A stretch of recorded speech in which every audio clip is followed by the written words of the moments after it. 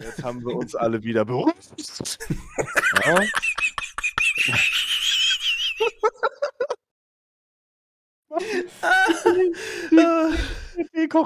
Digga.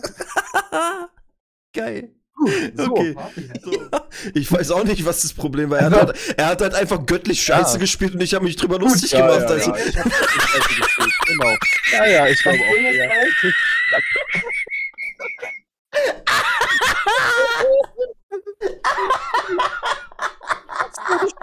Oh. Das mir weh.